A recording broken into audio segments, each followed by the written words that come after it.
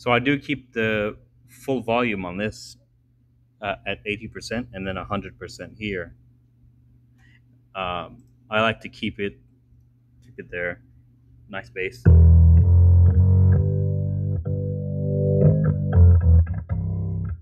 So it's like that. I like to go here and I like to go like this. And then if I want to keep the and then I can go like this.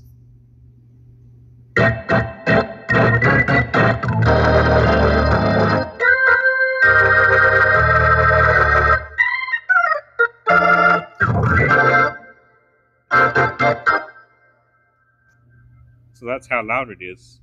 You can see how loud. yep,